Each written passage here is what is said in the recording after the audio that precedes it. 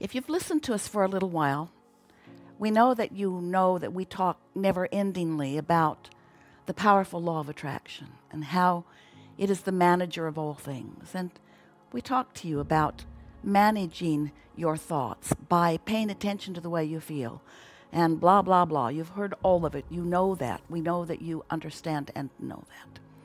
And recently, we've been describing to you with a little more emphasis that you are often, if you are like most humans, giving your attention to what is manifesting around you, and therefore that's what you're calibrating to. In other words, the vibrational output that you are generating is happening because of what you are observing. That's normal, not altogether helpful for you, but understandable, certainly, and in that sense, normal, certainly. So, as you are observing what's happening around you in, in any point in time, by your attention to that, you are offering a vibration which is you calibrating to that, and you therefore establishing a stronger point of attraction. And the law of attraction is responding to what your vibrational output is. But we really want you to remember that while that's happening with you from your human perspective, from your thoughts that you are thinking, that there is another part of you, a much larger part of you, who is at this same moment, in this same time, in this now, in this universal now where non physical and physical um, co create or conspire. That non physical part of you is also offering a vibration. Now, that vibration is exciting for us to talk about because that is the vibration that's really the whole of who you are. That's really the present tense of who you are. Because as you are in your physical form, when you know what you don't want, you are launching a rocket of desire about what you do want. And that vibrational emission is transmitted from you and received by your inner being. And your vibrational reality is expanding. We call that your vortex. We want so much for you to accept it as something that is real and something that is now, especially since it's where your inner being is. Your inner being standing there as the never ending, always in the moment culmination of all that your life is causing you to be. So that vibrational reality is vivid, but the most important thing that we are wanting to say about that right now is that that is your most powerful point of attraction. Knowing what you don't want may be what you and your human thoughts are thinking most about. But this vibrational reality that you have been and are generating, that's really what is most powerfully being responded to. We have said over time that that point of attraction is millions of times more powerful than what you are giving your thoughts to right here, right now. And that's why we can always say to you, with absolute certainty that the well being is dominant and will always prevail. But there is a question about how much you torture yourself in any given moment in time as you focus upon a now reality rather than focusing toward the solution reality. You cannot focus upon a problem and a solution at the same time, but we are not asking you to do that. You came knowing that you would focus upon what's happening around you, knowing that by knowing what you don't want, that there would be a culminating within you, a vibrational launching of clarity of what you do want. And you knew it was a good idea. You did not say, I'll go forth and be surrounded only by things that please me in every moment, and therefore my vibrational offering will be easy because it will just be a knee jerk reaction to what I'm observing. You said, I'll go forth into this new environment, into this new environment, into this always new environment, physical environment, ever changing environment. And as I focus there, I will continuously, steadily launch rockets of desire. And those rockets of desire will really represent who I am. You knew that before your birth into this physical body. And so we want to remind you that that is really what's going on. This vortex version of you, this non physical version of you, this preceding version of you, this getting ready to be ready to be ready to manifest version of you. This is pure positive energy, and your inner being is focused there. Source energy is focused there. There isn't anything, not a situation, a condition, uh, a relationship, a, a pile of money, an empire. There is nothing that you desire for any other reason than you think you will feel better in the having of it. And what you have an opportunity to come to know is that you don't have to have it in order to feel it, but by feeling it and feeling better, now you are closing the gap between where you are and where you want to be. And you will see day to day evidence of that right around you. There is so much around you in your immediate vicinity that will yield to you improvement. But here's the thing sounds a little bit like a contradiction. We don't want you to need or look for that improvement, not right now.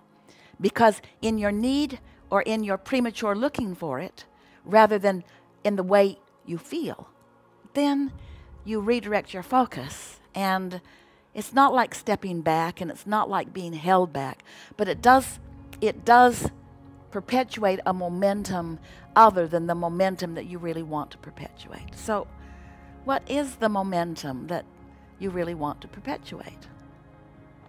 Well, we've been telling you this story for a while that you are an extension of source energy and you came into this physical body.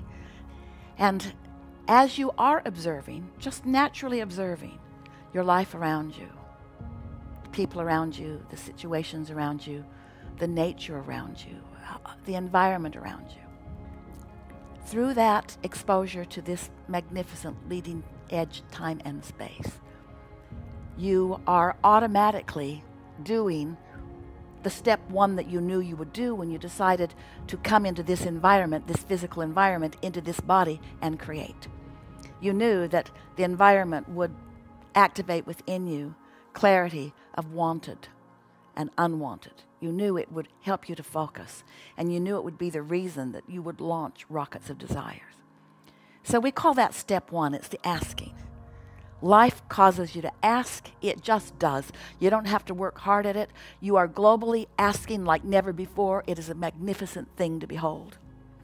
So you are asking. Now, step two that's where non physical comes in. That's what the vortex is about. That's what the vibrational reality is about. And that's what law of attraction responding to that point of focus, which is the non physical you, is about.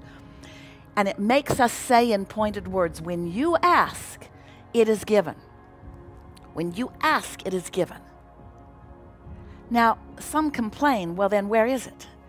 And we say, it's given, it's a vibrational reality, and you say, big deal, I don't want a vibrational reality. I want a reality I can see and hear and smell and taste and touch. And we say, we know you do, but you also want a reality that you can feel. And this is your opportunity beyond ever before to feel this reality, this vortexual vibrational reality. You can feel it if you want to. You can feel it if you'll let yourself because it's broadcasting to you in a louder, stronger, more persistent, momentous wave than ever before. So that's step three. That's when you are receiving that. That's when you feel clarity. You feel an idea. You get an idea that would help right now.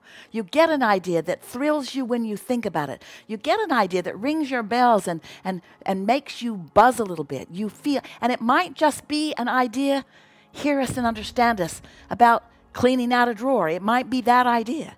Doesn't matter how grand you think it is or how insignificant you think it is. When the idea comes, from source energy because you are no longer offering resistance. You're in the receiving mode. We, we like to explain that the receiving mode is like a cork bobbing on the surface of the water. Let's call that receiving mode. Tuned in, tapped in, turned on. Now you can hold that cork under the water with worrisome thoughts or focused upon things that cause you to feel uncomfortable. But when you let go of it, it's going to bob back up. And that's what you're like. You bob back up if you will just let yourself. In other words, if you're not focused upon worrisome thoughts, and we know this is the last uh, a moment in time where you really want to hear that because there are a lot of worrisome thoughts that are sort of being uh, atmosphered around you. Nobody's asserting them into your experience, but they're available for you to tune into. So when you aren't thinking that thought that causes you to feel bad, then your cork floats. You get into the receptive mode. And that's step three receiving. That's where impulses come from. That's where thriving comes from. That's where your replenishment comes from. That's where your cells of your body are nourished. In other words, it's, it's a replenishing mode, replenishing of thoughts, replenishing of point of attraction, replenishment on all levels. It's the receptive mode, it's the receiving mode, it's pure positive energy, and it's, it's raining down all around you. You just have to let yourself open to it. Let yourself open to it and feel it. We are sitting in a room with a tin roof, and the rain just began to rain down, emphasizing that well being is raining down all around you.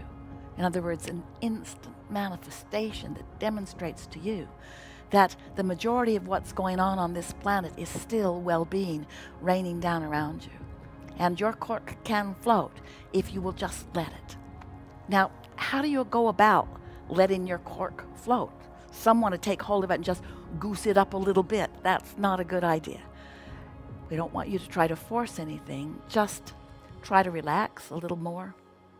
Try to think more positive things about more things. In other words, look for reasons to feel good right where you are.